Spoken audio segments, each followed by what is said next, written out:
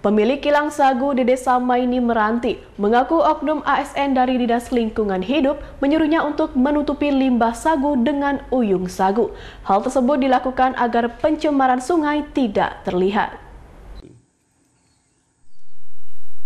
Seorang pemilik kilang sagu di Desa Maini Meranti, Ahai mengaku dirinya telah didatangi oleh oknum ASN dari Dinas Lingkungan Hidup Meranti beberapa waktu lalu.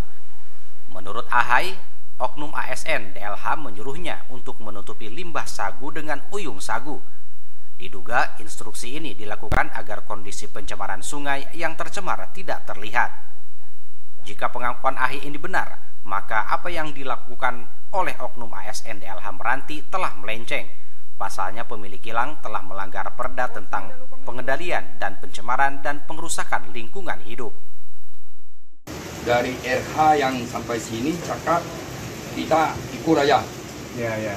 Nah, Jadi dari dari tahun kemarin tuh sudah atau gini. Jadi saya bertanya. Tanya sama siapa? Sama RH nih yang RH wakil ini. Siapa tuh orangnya? Kamerun ya? Ah, Kamerun. Kamerun ya? Iya iya. Oh ya, dia ya. turun ke sini. Ada. Uh, uh, berarti itu dia nyuruh ya kemarin ya, ya bagus ya. ya? Iya iya iya. Apa yang dikatakan Ahai tentang kehadiran oknum ASN dari Dinas Lingkungan Hidup Meranti dibenarkan oleh Sofian. Menurut karyawan salah satu kilang sagu ini, dirinya diinstruksikan untuk menutupi sungai yang tercemar dengan uyung sagu. Pakai dinas ah. Pakai dinas uh, Iya, PNS. pakai dia. PNS. Iya. Pegawai ya, macam pegawai pak ya.